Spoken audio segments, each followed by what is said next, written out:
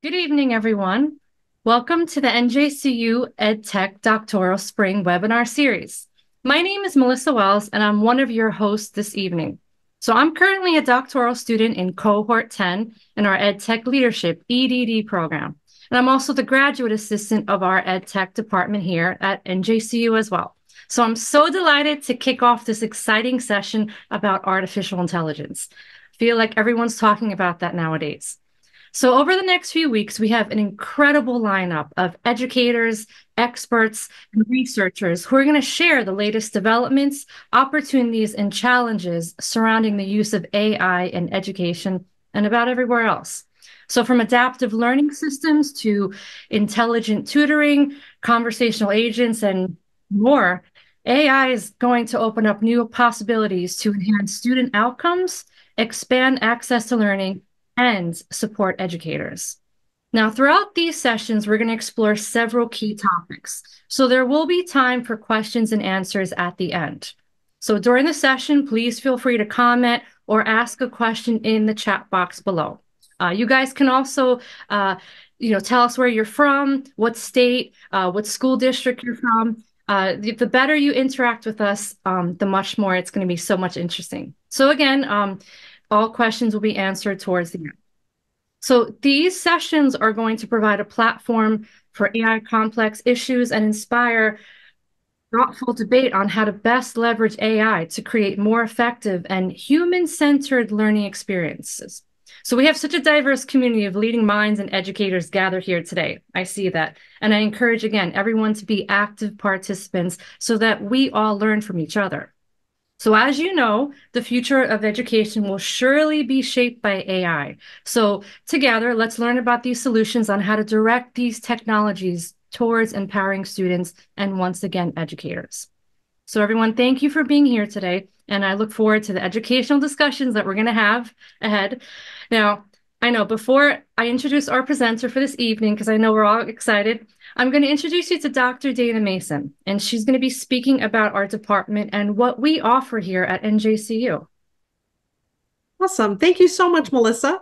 Um, before we begin, I'm just going to take a minute or two to share a little bit of information.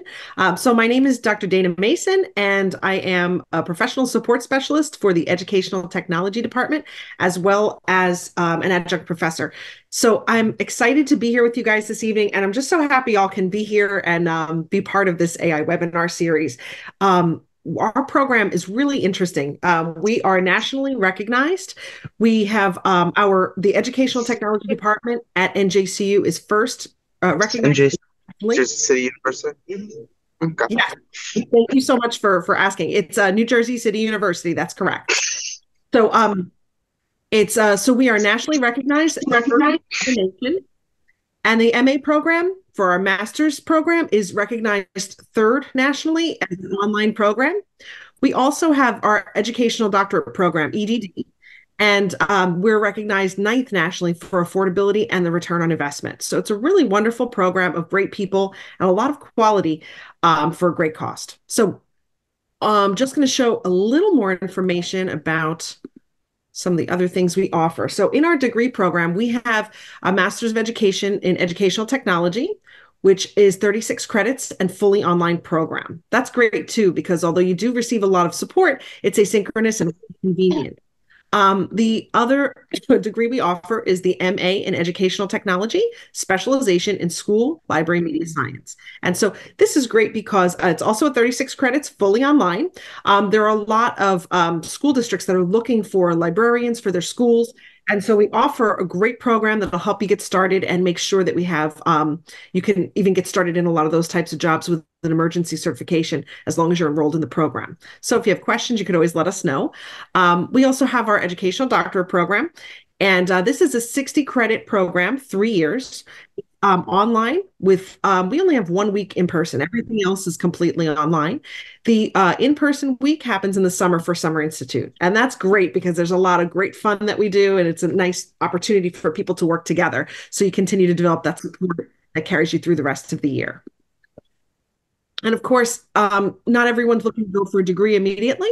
There are some other um, opportunities that we have as well. Some people are looking for higher attainment within their um, their district, so we offer different types of certificate programs that will support as well. So assistive technology is a really popular one, and um, this is a one year fully online program. It's five courses, so it gives you 15 credits total. There are three courses that are transferable to the MA program as well. So a lot of that's really exciting because certain classes you can take with one and add on the extras to obtain your assistive uh, technology certificate. We also have our STEM certificate, and this is a four credit program, 12 credit, um, sorry, four course program 12 credits total. And these are also, some of them are transferable with the MA program that we have for the degree programs. So if you have any questions, I'll make sure I put our website in and our contact information in the chat, but it's also below. So feel free to take a picture if you'd like. Um, and thank you again so much. I'm going to turn it back over to Melissa so we can get started without further ado. Thank you, Dana. All right, so now allow me to introduce our speaker for the evening. So our presenter this evening is Jeffrey Kontio. Jeff holds the position of Departmental IT Manager at Princeton University. He leads their department with much focus on aligning IT initiatives with the institution's research and scholarly objectives. Now, as a lecturer, Jeffrey imparts knowledge in the field of IT accessibility, advocating for a more inclusive world, both in and out of the classroom. Additionally, he has written for and spoken at higher EDIT conferences on the topics of accessibility and inclusion. Holding his certified professional in accessibility core concepts, he has also been asked to develop a workshop on UDL for his colleagues, bringing to the educational technology field a wealth of experience while offering an articulate and informed perspective on the potential of AI to transform educational practices. He's also in our doctoral program here at NJCU, He's in cohort 10, and I'm so thrilled to know him for two years. He's an amazing person. And whenever the cohort has questions, we always go to him for technology. I had to put that in there, Jeff. All right, so now without further ado, here is our presenter for the evening. Take it away, Jeff. Thanks, Melissa. Um, so yeah, uh, like Melissa said, uh, my name is Jeffrey Kontio. Uh, use he, him pronouns, and uh, she kind of went through my my top line resume for me. So that makes life a little easier for me at least. Um, uh, uh, you know, to kind of dive into it, I have a wide range of interests. Um, focusing mainly in this section and, and on this topic is going to be, you know, education technology, which kind of fits into, um, you know, both our degree and our topic for this evening. Um, as well as AI in education specifically, um, and like she mentioned, UDL or Universal Design for Learning. Um, when it comes to accessibility and that is kind of high level for what I do um, and also my interests. Um, you know, I am a, I also volunteer with a guide dog school based out of uh, Morristown, New Jersey here. Um, and uh, as of right now, I am also half of a therapy cert, a therapy dog team with one of my, with my career change dog from them, uh, named Babka. Um, and, you know, uh, to kind of dive into this topic today, we're going to talk about, you know, AI education. Um, my plan is to kind of look at it as a kind of an echo to the past and how we looked at technology in the past, how it's affected education in the past, and kind of use that as a um, guide with this new emerging technology.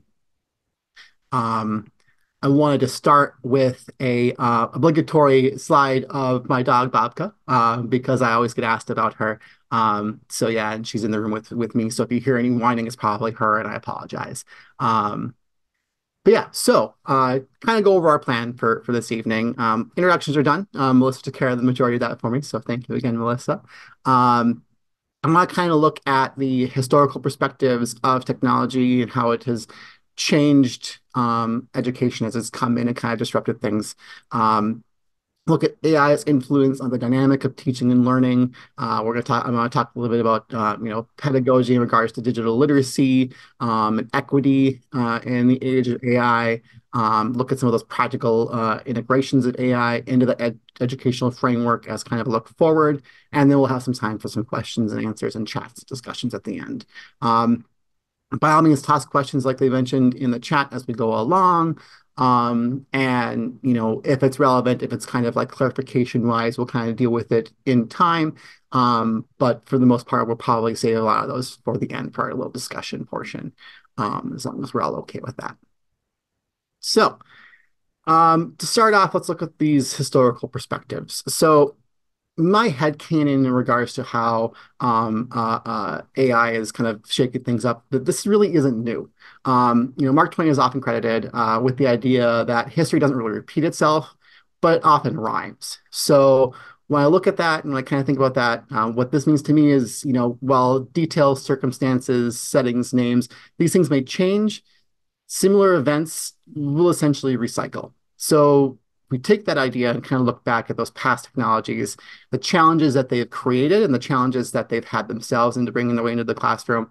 Um, there's always going to be some sort of that initial resistance, uh, which eventually does lead to some level of acceptance into the classroom. So is there a pattern? I would say so. Look at calculators. How many times were you told you had to memorize times tables. I had this like rote memory in the back of my head of sitting in my math class and in in uh, was like seventh grade, and I couldn't move on in my lecture until I got through all the times tables in a certain time period um, because I wasn't going to have a calculator in my pocket all the time.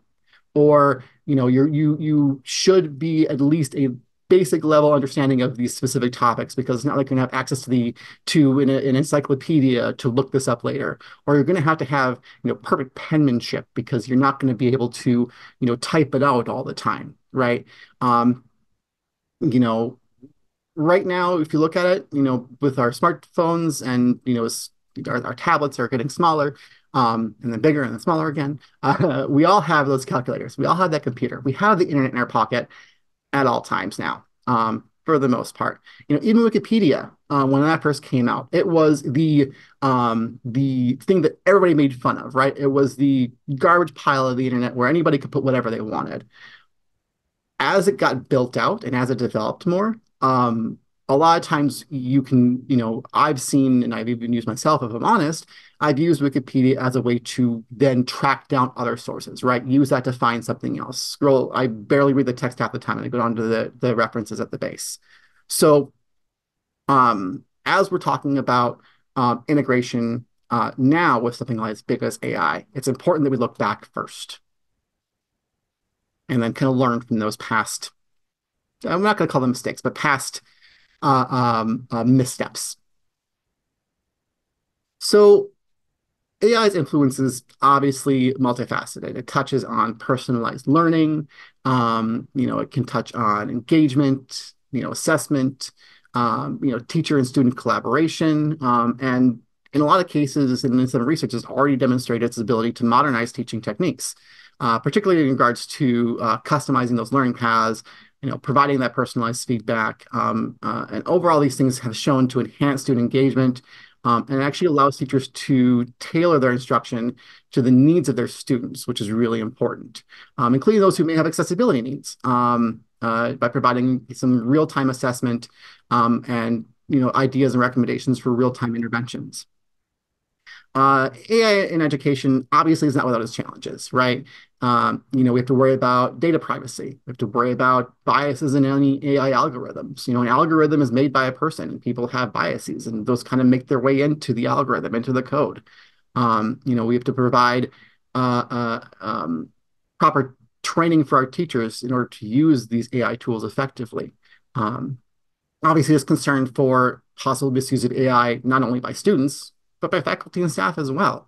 Um, so I wanted to take a, I, I, I took a quick look at a, just a few uh, um, uh, uh, studies that were done. Um, you know, if we look at uh, Zhang and Aslan in, you know, just, you know, 2000, uh, 2021, they, they mentioned that, or they found that there was some great potential in AI, uh, great potential for AI in education um, as a way to increase access to learning opportunities um, and scale up those personalized personally customized learning experiences. Um, I found ways to optimize uh, methods and strategies to, to kind of enhance those learning outcomes.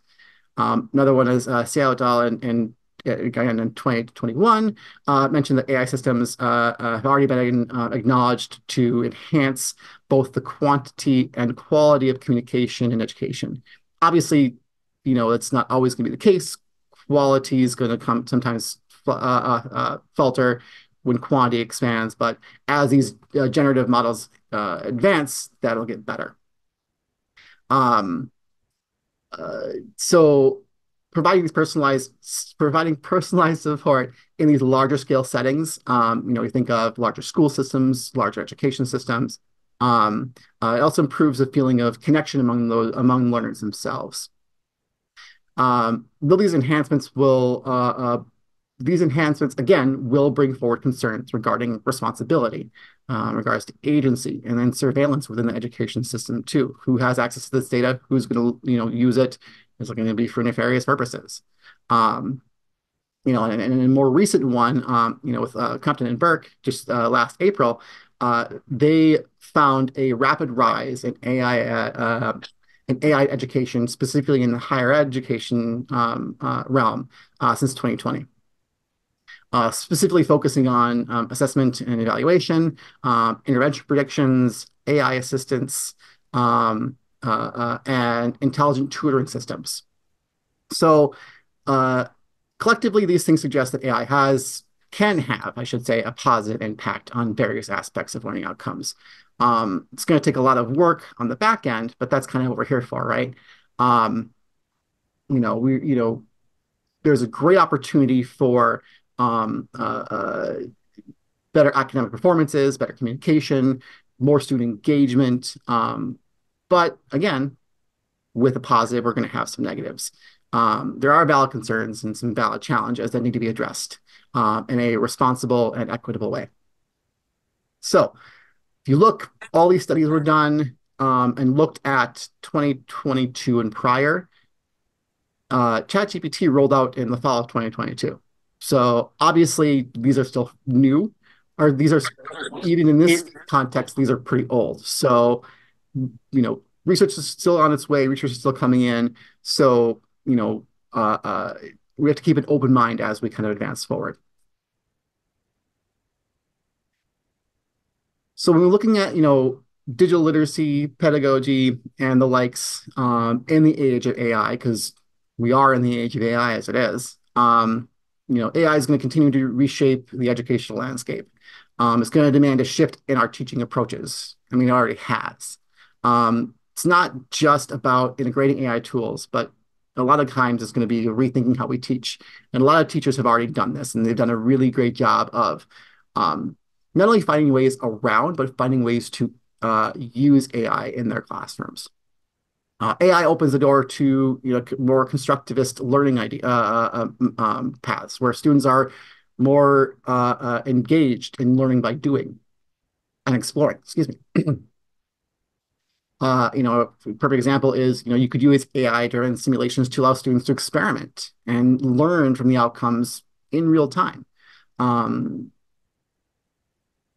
it's kind of in this case it's going to be more about um, you know guiding uh, discovery and nurturing those problem solving skills. Uh, equally important is you know digital literacy, especially in regards to AI, um, uh, mostly for our educators. Um, essential that our teachers really understand how to effectively use AI and integrate AI into their classrooms, um, and how to kind of approach the conversation of it um, with their students. Um, this is obviously going to include professional development. Um, it's going to include um, uh, uh, workshops and, and, the likes uh, to kind of um, uh, focus on bringing AI and kind of look at the potential um, uh, advancements or the potential to use them um, and uh, their ethical use in the classroom itself. and as we continue to move on and, and, and, kind of barrel through this AI driven world, um, being digital literate uh, uh, means honestly understanding how AI works, its capabilities, and its social implications. Um, and as AI makes its way into our programs, um, we need to teach students those critical skills in regards to you know data literacy, uh, in regards to online safety, and you know and, and ethical technology use. Um, it's kind of in this case, uh, uh, uh, our we were kind of su somewhat surprised when AI came out, so we didn't really have a chance to prepare them for the use. So now we're kind of playing catch up, but that's okay. Um, you know, it's it's going to be about um, understanding its impact uh, going forward, obviously. Um, so for developers, obviously I'm talking more to teachers, but for developers and those, uh, uh, it's going to mean um, kind of finding ways to design inclusive AI tools to cater to the diverse needs of learners, um, which that's where we come in as educators or people in the education field. We have to be the the the the uh, loudspeaker that kind of helps direct our AI developers um, to find better ways to um, to, to, to kind of focus their developmental fo- uh, uh, uh, line of sight onto better ways to bring it into the classroom.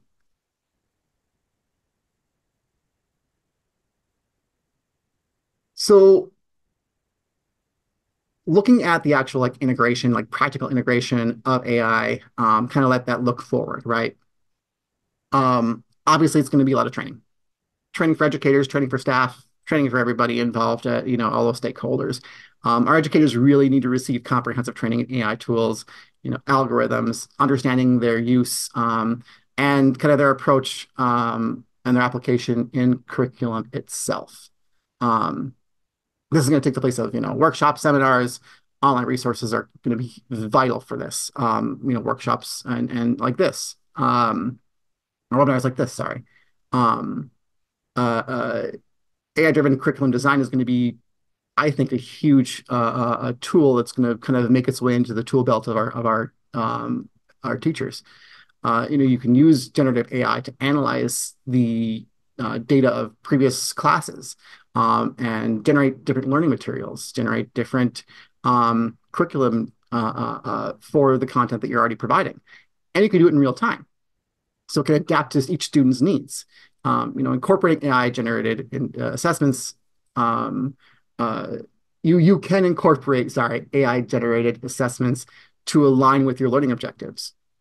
AI only does what you tell it to do. So if you give it your framework, it's going to kind of it's going to use that to kind of develop uh, to build out from there. Um, again, customizing those those those assessments for different learning styles is going to be a huge tool. Um, we're going to be able to leverage AI to create more personalized online, uh, uh, personalized course outlines um, and lesson plans. It's all about personalization. It's all about making it, making it uh, uh, uh, uh more focused on student need. Kind of feeling back to that idea of um, accessibility in education. Um, and it's going to be able to AI already can, and and it's going to get even better at being able to look at those individual strengths, weaknesses, and learning styles of our learners. Um, my hope is that we can start to use AI uh, for automated assessments um, as well in order to provide more immediate feedback um, and allow uh, uh, more timely interventions um, to enhance learning uh, uh, though AI does have built-in biases, um, you are it, it's it's it shows promise to be less biased than you know our own uh, our own selves. So something to keep in mind with that. Um, with regards to uh, more immersive learning experiences, um, you know things like AR and VR um, are often powered by AI to create those more interactive and immersive learning experiences. So you can build out, or so you can use pre-built environments to explore, um, conduct simulations, uh, deepen understanding, and enhance engagement.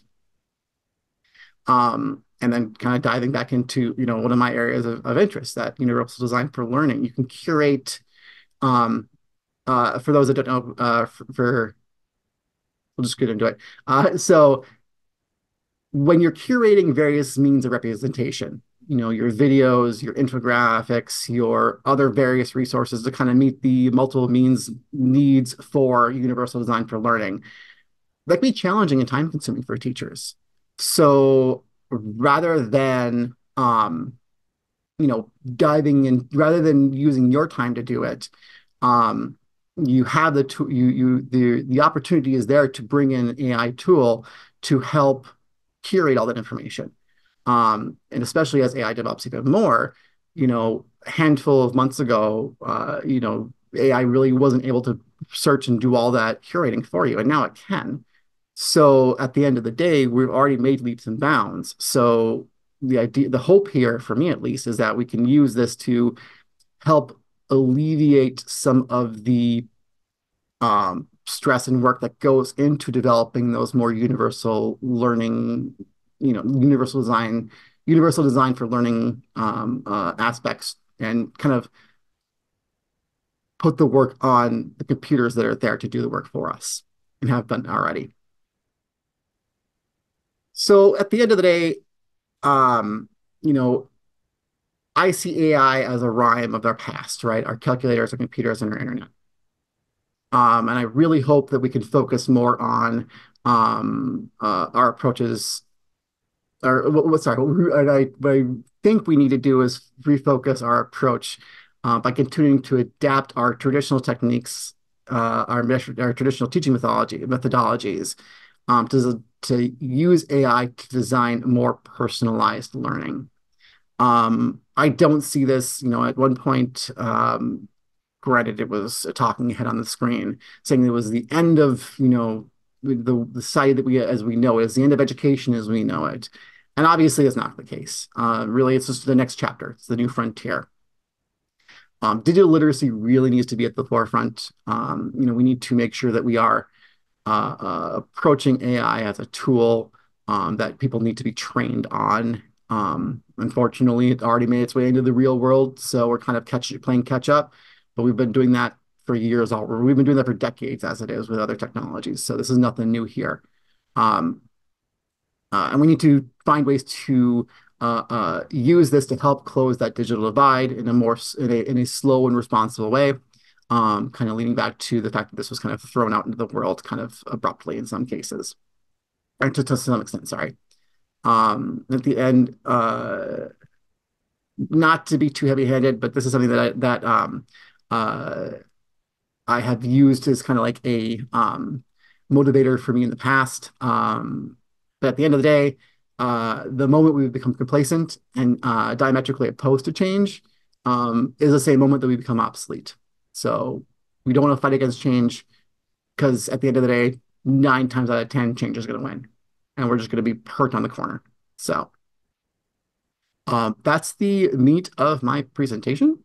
Um, I kind of want to open up more of a discussion for the rest of this, um, kind of discuss what our thoughts are in regards to, um, you know, how we can use what we've learned in the past when it comes to how technology has disrupted our classrooms or even our you know our society to some extent in general, um, and kind of use that as we kind of build out uh, in the future. So with that, I'm going to kind of roll it up to everybody here that's with us and kind of open up the the session for discussion. Hi, can, can you hear me? Um, yeah, we got you. Yeah. So one question I have is regarding the applications that uses AI that we can use for education. Do you have any recommendations, like for different, uh, let's say, as a kinder uh, elementary? Uh, do you have any recommendations of applications uh, for AI for middle school or high school? And um, and my second question is, like, let's say the a teacher is working on a, a specific topic and they ask students to to research about a specific topic. When they use ai it's not the ai going to um, develop the same the same information about this the topic that the teacher researched and would that be contradictory in the classroom when it's time to expose this information with everybody else Sure, those are really good questions. Let me just make a note of that second one so I don't lose it in my cluster of a mind. Um, uh, uh, overlapping with. Okay, so to the first one, in regards to like different applications uh, uh, that I would recommend, I don't want to um, uh, uh,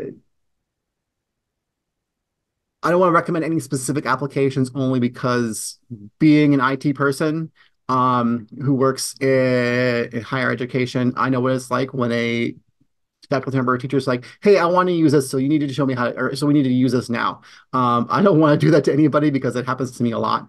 Um, but what I can say is, um, with a lot of uh, my focus mainly is on um, uh, uh, generative uh, AI or or uh, uh, large language models um, regards to how I kind of dive, dove into this topic. Um, but in that sense, um, kind of tying into your second question too a little bit, when we're looking at um, how AI might overlap or kind of I don't want to say replace, um, but that that um, you know teacher student interaction um, uh, in regards to you know bringing in content and and, and bringing in knowledge and kind of um, uh, presenting that knowledge to the student. Um, uh, I'd agree that the that our students, for the most part, have some access to the internet at any given time um, or at the very least while walking into a library. So all that information, a student could go to the library or onto their phone and look up information about literally anything um, and have that. But I think part of what makes teaching so important is that it creates more context for the information um, and kind of building that out more and kind of bringing in more information. Um, so I would say that um, we're talking about a, a, a topic, let's say, um, uh, uh, uh, uh let's bring in, um, uh, for some reason, um, uh, the Civil War is on my mind because I'm doing a Universal Design for Learning webinar in a couple of days and um, or seminar in a couple of days, and I was one of the the my exercises is to um, talk about different ways to bring that in. So, um, uh, but when we talk about the information that's available out there, so much out there um, on like let's, let's look, actually let's move away from the Civil War. Let's look at um, the if, if, if classical music has any time or any place in today's society, like what what classical music has um, done to to shape today's society. So students can go out there and look at all this information about classical uh, composers and different pieces and everything out there and how it's shaped music today. Um, but at the end of the day, the AI is still fairly robotic. It's not really going to um, bring that in a more in a meaningful way, and that's where we kind of, as educators or those in the education field, um, take that next step and bring in more meaning be- behind the, the information. I think that's where we're going to kind of fall back into um, into that role, bringing meaning, bringing context, bringing it all together um, into something more engaging and and and and, and interesting to students. Um, Leonard B says, "Thank you for sharing this information. I appreciate how you mentioned that the fact that we should be open to change and exploring new technologies. What would be a good starting point for educators to deep dive into AI and learn how to leverage it for instruction? And then I think we also have someone who wants to comment afterwards too. Randy has a suggestion afterwards. One thing I would recommend looking at, um, and Randy, you can chime in too if if you if if if I don't cover what you were going to say, is um, looking at um, learning how to um, uh, develop prompts for AI. Um, uh, there are a whole there's a whole ton of information out there. Um, and there's even some like AI expert like certifications you can get on designing and implement or designing um, prompts for AI uh, uh, in order to get the most information to get the best information out of it. That'd be a really good place to start. Or at the very least, jumping in, or or even one step behind that. Excuse me, and um, uh, uh, uh, going into Google's Bard and just asking it questions, have it, you know, have a conversation. Um, honestly, I find it, you know, if if I'm having, if if I mean, like like you know, today, obviously, my, my I guess my brain's a little fried today. Um, uh, uh, on days like that, I might go in and try and get AI to fall off its guardrails. Um, you know, AI has built-in guardrails to make sure that it's not going to overly negatively affect the person that it's communicating with. Um, obviously, you know, there's ways around that, and people have found ways around that. But one thing I think is very helpful is kind of learning what those guardrails are, what AI will and will not do for you, what it, what you know, what questions it will answer, and what what it will say. I'm sorry, I can't do that. um, you know, I'm sorry, I, I you know, going back to um, uh, the idea of um, in a more responsible way. Um, uh, and you can also look at um, regardless of those limitations, you can tr try to get it to um, I mean, one thing I did for uh, one of the course that, I, that I'm teaching at Rutgers is I went through and I um, asked AI to answer all the questions for um, one of my uh, uh, last quizzes, which was a take-home quiz, all the short answer uh, uh, questions, and um, just to see what I might need to do to reword it so I can get more, so so I can find ways to, so that, that my students are thinking more critically than what AI can do. So that might be a really good way to do it too, is try and find ways to um, trick it almost into um, uh, uh, uh, not being able to give all the information about that that and, and having students do some of that work too. Um, so hopefully that answers your question. Randy, did you have something else? No, I, well, you hit the nail on the head. Um, hi, everybody. Randy Narvaez here. Uh, I'm an assistant principal in Edison and also part of uh, NJCU's cohort 10. Um, I actually had um, I've had the opportunity over the last couple of months to lead a series of workshops with my teachers um, on AI and leveraging AI for um, instruction. And so um, I would say that exactly what you said, Jeff, um, in terms of exploring prompt engineering. And I gave um, a, a I gave my teachers a framework that I actually stole from someone else. It's not mine, so I can't take credit for it. But it's called the Prep Edit framework, and um, Prep stands for um, prompt role explicit parameters. And basically, um, when you use that framework, it helps you come up with the best prompts that you can come up with for that particular uh, task. So, like introducing the prompt with a question, giving it a role or vo- voice, or like I'm a third grade teacher. Um, that that sort of thing and then the edit framework is okay now the machine is going to spit something out right? It's going to give you what you've asked it to do but it's not going to be perfect. And so how you can go back and evaluate what the machine is giving you that output and determining okay is this accurate? Do i need something a little bit different? Identifying any biases or um, misinformation in the output and then using that to come up with another prompt to hopefully transform what it is that was um, provided so i would say exploring a framework like that just so that you're familiar with how you can make your prompting stronger because when your prompting is stronger what it produces is going to be stronger. And then the second piece that I'll add to that is you really just have to think about what it is that you need, right? So you might need uh, support with scaffolds for certain students. So in your prompting, you're going to make sure that you say, like, I, you know, that you need uh, scaffolds for ELLs with this specific reading uh, skill, um, or you know you might need help developing learning targets that are aligned to specific standards or breaking specific standards up. Um, so what what my teachers have really you know come to uh, or learned from from some of these workshops is they're saying randy the better my prompting um, is the better output that i get the more aligned it is um, they've actually developed um, essentially prompt uh, skeletons, if you will, that they can just sort of plug in different content or different um, information into these generic prompts that they've created. And, you know, they're raving about the amount of time that it's been able to save them and, um, you know, how it's been able to open up more time for other things that we need to do as educators. So I would say the two my two pieces of advice are definitely think about what it is that the AI tool can help you with, and then also um, using uh, a specific framework.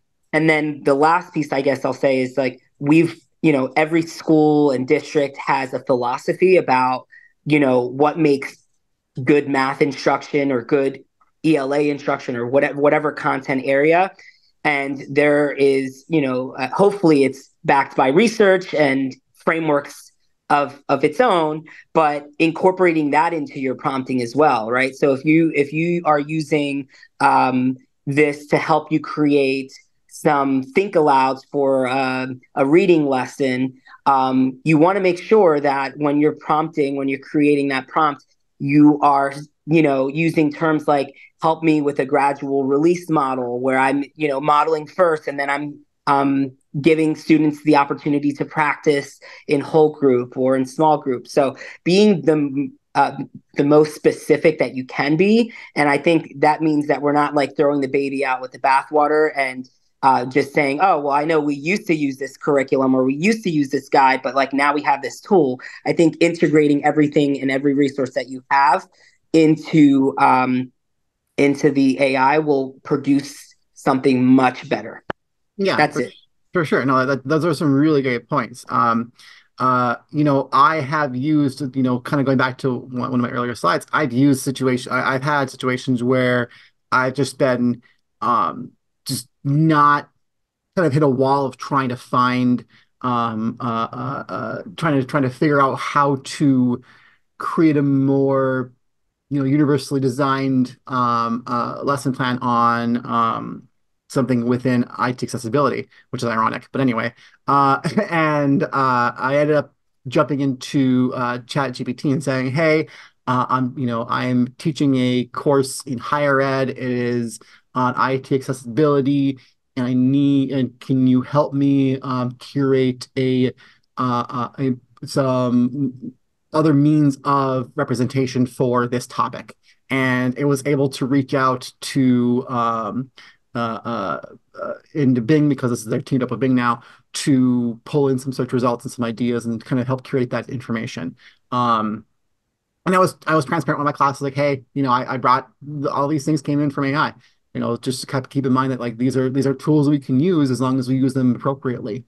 Um, uh, uh, there was one thing that was brought up that I wanted to, um, yeah, uh, Sherry, you made a really good point on on um, how you know students can use it too having your students you know submit the prompt they use and then have to verify you know the response from ai um, uh, uh, one of the things that i'm i'm doing this semester in, in that course is i'm going to have the students kind of uh, uh, uh, to kind of learn you know the ins outs a little bit of ai and its accessibility and its lack of in some cases um, so, like submit a prompt to AI to, ChatGPT, um, submit it to the discussion board, and kind of tear it apart, kind of break it down and figure out where it failed and where, where it succeeded and where it failed.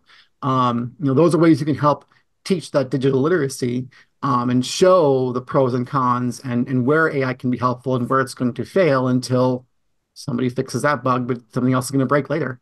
Um, you know, so I think that that's a really, um, I think that that was one of the ones I really uh, appreciated in, in chat. Um, so I just wanted to call that one out. Um, we have another question, I think from, I'm not sure if I'm saying the name right, um, Shanjista. And um, this is, I know other sessions are also going to spend a lot of time on on more of the uh, mechanics as well. But her question, or maybe his question, uh, their question, can you please show us a bit about how AI is being used in the classroom, for example, to use as a classroom, uh, use us as a classroom and do something with AI and teach us how to do that? Um, like like you said, this is like the the the actual meat jumping into AI. I think is going to be covered later on in the week. Um, so I don't want to go too far into that. But you know, you know, like I said, my example of you know asking AI using that that that framework to prompt it to say, show you know, build this out for me, and then like Randy said, um, you know, going back and editing your prompt or saying, you know, no, my prompt was good, but you were way off base. Um, you know, and and uh, frankly, I mean, and you know, um, if you aren't aware, um, uh, we are the guinea pigs by using it. So when we tell, uh, you know, Bard or ChatGPT or, or what have you that the response was not good, it stores that information to some extent, and it's used to help kind of fix it later down the road. Um, so just kind of keep that in mind as you're using it when it comes to like data privacy and that as well. Um, uh, and then depending on if you're using a free or paid version, there's other features you can get as well. Um, but always keeping in mind data security. Uh, but, uh, um, there's another question uh, uh, from Trista. where do we find the intersection between using AI and prepping students for standardized testing? Uh, teaching them to use these tools is vital for their success in navigating the technological world, but with the emphasis on test scores and education, how do we navigate this particular issue? I mean, that's going to be tricky. Uh, uh, that's that, that's a, a, really tricky question. Um, let me think about this for a second. So I think when it comes down to um, uh, you know prepping for those standardized tests, I mean, um, obviously we need to find a way to assess the knowledge that our students are get are getting, um, and to make sure that it is their knowledge. Um, you know, you know, tests are never going to go away. Standardized tests are likely never going to go away. Um, I don't know if I have a perfect answer for that. I think, in my mind, the best way would be, you know, um, the same way we've used um, something like, uh, I mean, the internet in general, right? You know, we've brought that into our classroom, um, and uh, it has changed how knowledge is is received, how knowledge is found. Um, uh, I mean, things like YouTube and podcasts has changed how knowledge is is how how content is is digested. Um, so I would say that you know it, it, it's I I feel like um, uh, uh, testing is going to kind of be that linchpin that keeps us from going too far off the rails and letting us just sit back and and work eight hours a day and let AI do the rest for us. Um, so I think that that's kind of how I square that circle, and that you know we're going to need to bring AI into the classroom. Like I said, it's going to be needed. You, you, we're going to need to make sure that our, our students know how how to live in a world where AI is part of it now, even more so than it may have been before. Um, you know, uh, uh, so oh, this is one that I didn't put in my slides, but I mean, to some extent, the spell checker and the grammar checker in Microsoft Word is a version of AI, right? And we still expect our students to be able to draft a paragraph without all those tools. So we've already done it once before. So we're just going to have to kind of adjust what we've done in the past to still make sure that that um, knowledge, that ability is still there with the understanding that these tools are going to be there to help us anyway. I say that at the time at the same time seeing red squigglies on my notes because I can't spell. But that's beside the point. um, so it's something to I guess I guess that's kind of my answer to that question. I'll, as a K twelve like administrator, I'll I'll add to everything you're saying, Jeff. I'll just say like in terms of standardized testing, uh, obviously we never want to teach to a test or anything like that. But if we do start with the end in mind, like there are clear examples, at least in New Jersey, of um, like there are sample release items on New Jersey Department of Education's website where they show like this is what a rubric uh, a four on the rubric looks like in terms of an a- actual student response. We can leverage AI to help break that down into like concrete skills that we can teach kids. For example, um, and this this is coming from someone who, uh, you know, one of my teachers who said I was able to take exemplar student exemplar responses and break it down to explicit skills like okay, I need to teach kids how to write strong topic sentences when they're responding to a prompt like this. I need to make sure all th- that I teach them how to cite textual evidence, like break it down into the skills that they need. So if we're starting from the end in mind, okay, what do kids need to be able to do? Um, looking at the standards for instruction AI can help us break those standards down. AI can help us create objectives that are aligned to those standards. AI can help us uh, come up with models or exemplar responses for those standards. So there's a there's a ton that you can do as long as you are sorry, that's my dog. As long as you're working backwards from um, from what kids need to be able to to do. That's a that's a really great point too. And I mean, you know, like you said, you you know, AI can help um, do some of the heavy lifting for you know figuring out you know what are some you know you know looking at real world situations what are some learning objectives that are relevant in the real world on this topic? And then you can go one step further. Okay these are my learning object you know you already given me these learning objectives. Okay can you help me design a um uh uh a, quiz or an assessment that that follows these learning objectives. So now I know how where I want to go, and then kind of use that, like you said, kind of work backwards. Say, you know, you're not necessarily, you, you know, to some extent you're teaching to go test, but you're teaching to what you expect your students to know after the fact as well. So as you build out, um, you know, your your prompts and your responses to those prompts, um, you can AI theoretically can help um, kind of help build that foundation, kind of build up from there too. So it's can be kind of yeah, like you said, it's it's you know figuring out what the end goal is and kind of working back, and then also kind of starting with the here are my learning objectives, and then moving forward and kind of find that middle that middle point together. Okay, we have another question. Um, Vanessa asks, "Do you think AI can assist into professional development?" So I think that that um, uh, I'm going to answer the question this way, and Vanessa, you can you can check me if I'm not going where you want. Um, uh, so, in regards to can it help to develop professional development, uh, which obviously it can. It can help to develop really whatever you want it, as long as you give it its its its uh, what you, it's what you expect from it. Um, what I would say though is that um, uh, it uh, is going to um, it, it there some of the guardrails that are built into AI is that it it doesn't kind of um it it it how am I gonna word this one? It um won't necessarily it won't show you how to break it. You kind of have to do that on your own. So there are some things that AI will be able to do for you, but there are some things you're going to have to do your own work for to kind of build up the rest of that professional development. Um, uh, it'll never replace the person doing the work, but it will help alleviate some of these some of the uh, the processes involved, some of the um, the repetitive things that repetitive nature of life um, and of, of developing stuff. It can kind of do some of that for us. So hopefully that answers your question. You know, Jeff, uh, when you spoke about how, uh, you know, in in your topic, you you said how AI should be balancing education.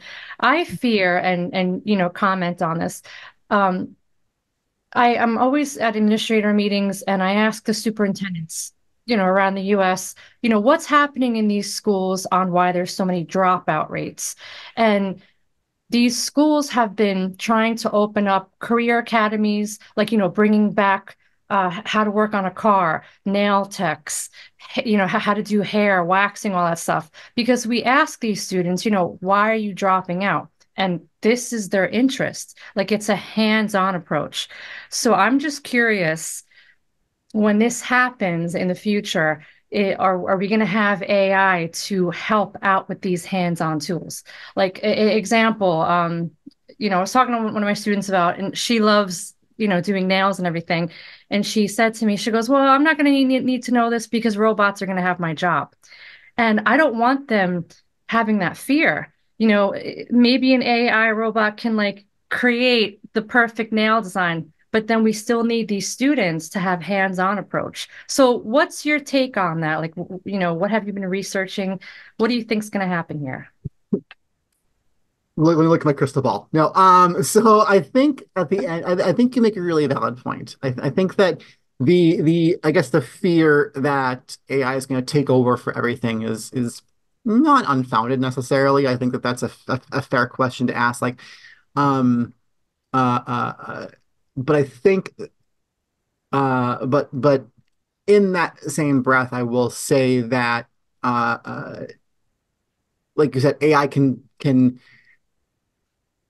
uh, do a lot. It can it can it can create to some extent. It can create, um, but it's creating off of everybody else's creation.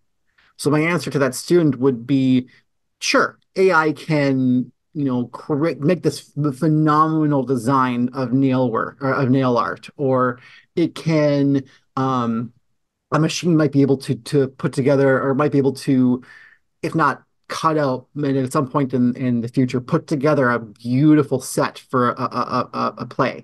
Um, but it's based on what somebody else already did.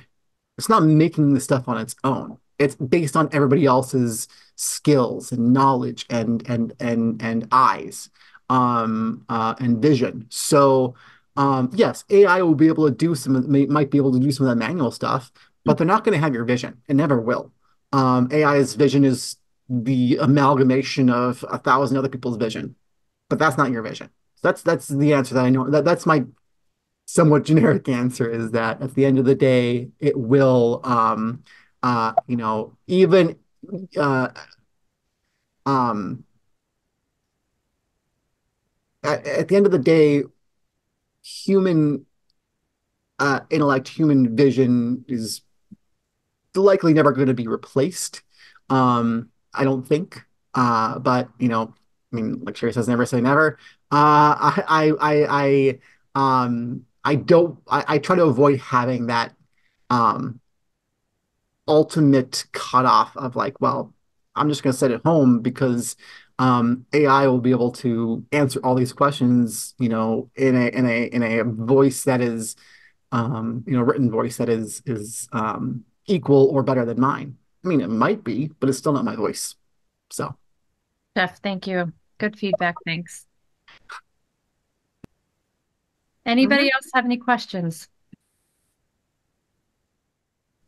All right. So if no one else has any questions, Jeff, thank you so much for this wonderful session today. We we've learned a lot. Thank you so much. Thank you for being with us. thanks, everybody. I appreciate it. All right, and everyone, again, you can uh, view this session again as this was being recorded, and it will be up in a couple days on our YouTube channel. All right. Okay, everyone. So thank you. Good night, everyone. Have a good night. Thanks, everyone. I also put the link in the chat if you'd like to sign up for more sessions covering different topics and different types of content as well, with other hands on things to complement. So please let us know if you have any questions. Thanks again.